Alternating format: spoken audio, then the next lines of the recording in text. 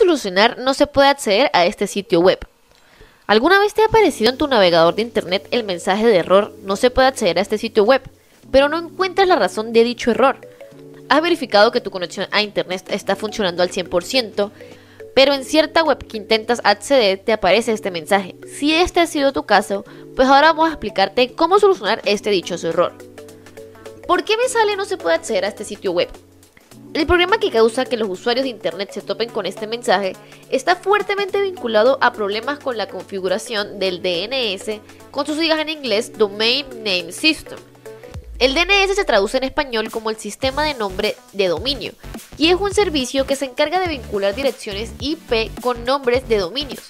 Por ejemplo, cuando escribes en un navegador de Internet la dirección de dominio www.google.com, el servidor DNS se encarga de llamar la atención de IP 216.58.192.36, porque es la dirección que tiene vinculada en su base de datos.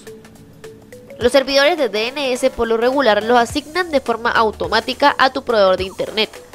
A veces pueden confrontar problemas con algunas web o simplemente ellos han bloqueado acceso a ciertas web.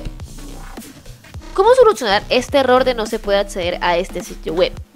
Aunque cabe la posibilidad de que el programa de configuración del DNS sea a nivel de tu IPS, o sea, tu proveedor de servicio de Internet, te vamos a explicar algunos pasos por si el problema se encuentra en tu computadora.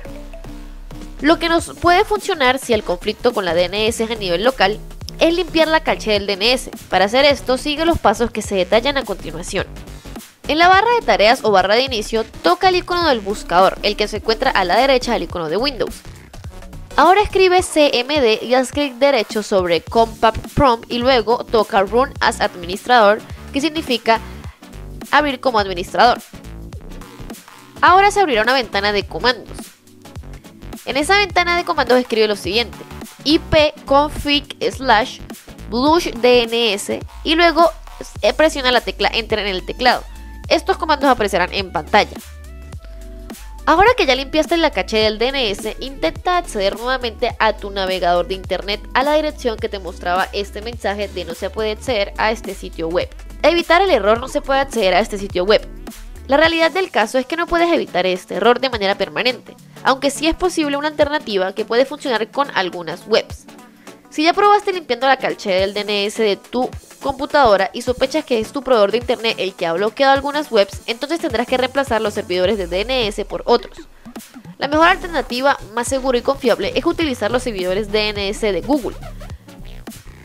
En la barra de tareas o barra de inicios de Windows, haz clic derecho sobre el icono de Windows y selecciona la opción de Network Connections.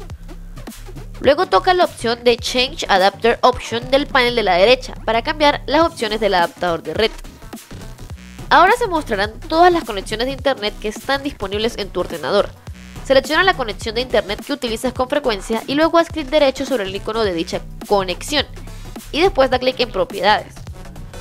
En este paso vas a configurar el protocolo que se llama Internet Protocol versión 4 y asegúrate de que selecciones el protocolo correcto de la lista y luego toca el botón de propiedades nuevamente.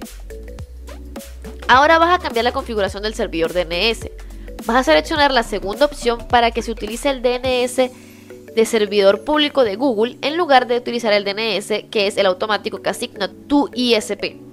En el apartado que dice Preferent DNS Server, escribe la siguiente dirección IP que aparecerá en pantalla.